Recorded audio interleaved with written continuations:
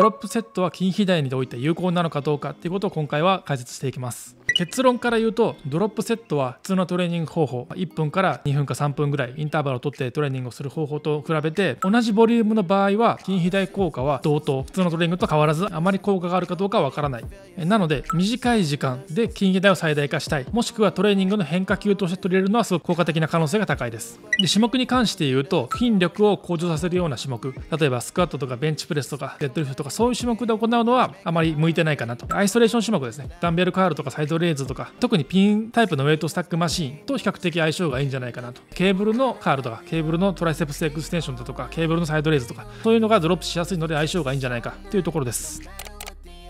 でまずドロップセットっていうのはですね大体10回程度の最大反復回数10回程度やって上がらなくなったらすぐ重量を落としてインターバルを取らずにそのまま少し落とした重量でそのまままた10回続けてさらにできなくなったらまた10%か15%ぐらい落として大体3セットか4セットぐらい行うのが一般的ですね。なので初期重量の10%から20%ずつ落としていく。最初10キロだったら8キロから9キロぐらいに落として次さらに7キロから8キロっていう風に1キロから2キロずつ落としていくっていうのが一般的だと思います。ドロップセットっていうのは何パーセント落とすとか、えー、何回やるとかそういうのは特に決まってないんで結構この辺はバラバラだったりします。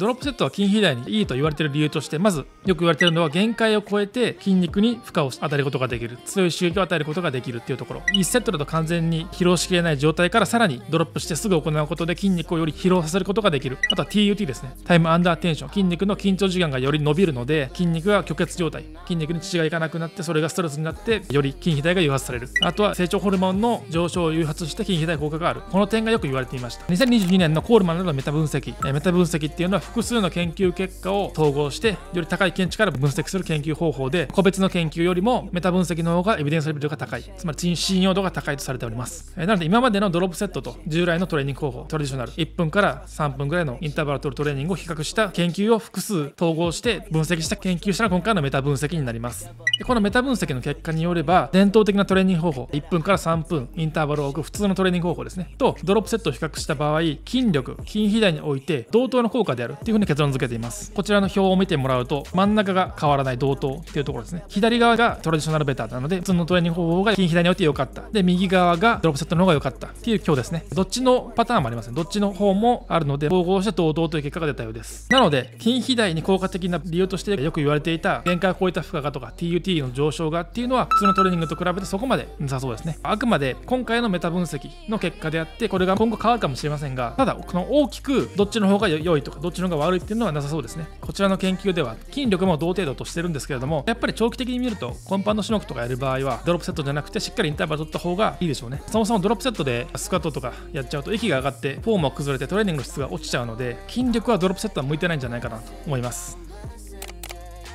ドロップセットのメリットなんですけれどもハイボリュームで行いたい。20セットも30セットもしたいけれども時間が何時間もできないとか、まあ、30分とか40分でトレーニングを終わらせたいっていう場合はインターバルをしっかり取るトレーニングよりも時間を節約して筋肥大の効果を同等得ることができるのでそこは明らかにメリットですよね。で今回のメタ分析で含まれる研究もそうなんですけれどもこういう研究の場合はトレーニングボリュームを一緒にしてるんですよね。実際には同じトレーニング時間ならドロップセットの方が多くボリュームをこなせるじゃないですか。普通の人は決められた時間の中でどれだけできるかっていうところなので同じ時間ならドロップセットの方が多くトレーニングできるのでドロップセットはかなり有効なんじゃないかなと個人的には思います。やればやるほどいいわけじゃないんですけれども時間が決まってる人もう30分とか1時間この間でやらなきゃいけないとかいう場合はドロップセット非常に有効なんじゃないかなと思います。でドロップセットのデメリットっていうのはやはりスクワットとかでやってしまうとよほど心肺機能が高くない限り先に息が上がっちゃってトレーニングできなくなるっていうことがあると思います。でやっぱ心拍数が上がった状態で行うトレーニングっていうのは純粋に筋肉の筋力向上とか筋肥大においては明らかにマイナスですよね。やってればある程度は慣れると思うんですけれどもわざわざそういう種目でやらなくていいかなと思います。どうしても短時間で終わらせたい人にとっては有効なんじゃないかなと思います。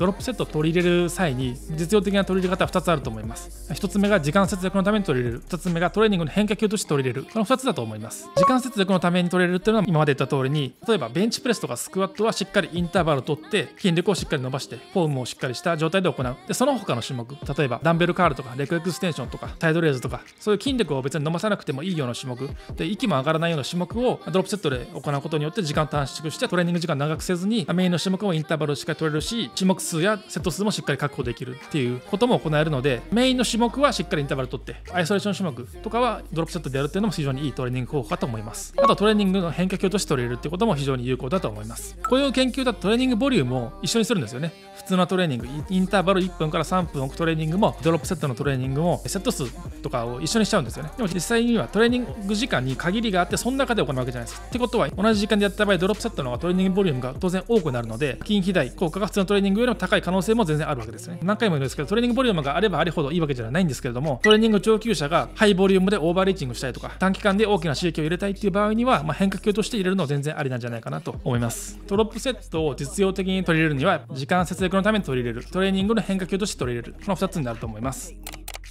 ドロップセットはサイドレーズとかケーブルフライとかダンベルカールとかそういうアイソレーション種目特にピンタイプのウェットスタックのマシンは素早く重量を落とせるので非常に向いてます。ただしスクワットとかきついと負荷のかけづらくて怪我の原因にもなるのでこういうコンパウンド種目とかまあバーベル種目ですねだと行いにくいと思います。重量を取り外すのも結構手間かかっちゃうのでやっぱりマシンとかダンベルになるのかなと思います。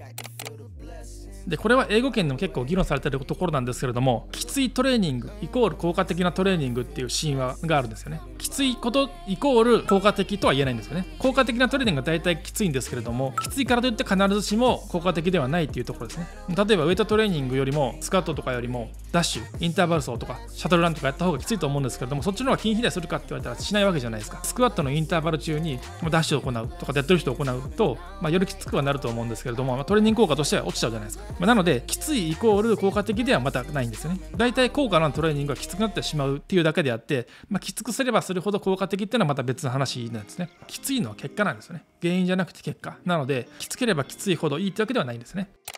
もう一度まとめるとドロップセットはインターバルを1分から3分とある普通のトレーニング伝統的なトレーニングと比べて同じボリュームの場合筋肥大効果はほとんどない。同じぐらい。ただその同じくらいってことは短時間で終わらせることができる。もしくは同じ時間ならもっとボリュームをこなせるのでそういった場合時間がない人とか決まった時間の中でトレーニングボリュームを大きくしたいっていう人には効果的です。どんな種目に向いてるかっていうとやっぱり筋力を向上させるような種目スクワットとかベンチプレスとかそういうコンパウンド種目にはドロップセットは向かないですね。息が上がってしまうので。そういった種目はしっかりインターバルを取った方が筋力も伸びやすくなります。でアイソレーション種目ですね。ドロップセットアイソレーション種目。特にマシンでピンタイプのウェイトスタック式のマシンだとまあドロップもしやすいし効果的なんじゃないかなと思います。そんな感じで過剰にドロップセットが効果的だとか意味ないっていう風じゃなくて時間が短い人とか一時的にボリュームを上げたいとかいう場合には非常に効果的なんじゃないかなと思います。今回の動画役に立ったら高評価あとチャンネル登録、えー、よろしくお願いします。はい以上です。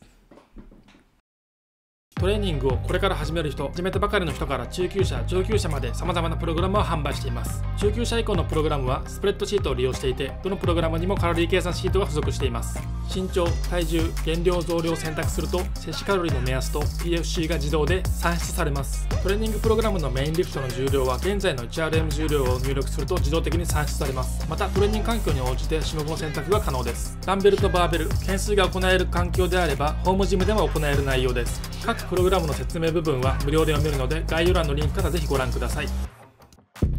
like zero degrees. I'm out the cage, gotta let out the beast. Revolutionary, gotta let out the streets. Locked in a cage, I'ma let out.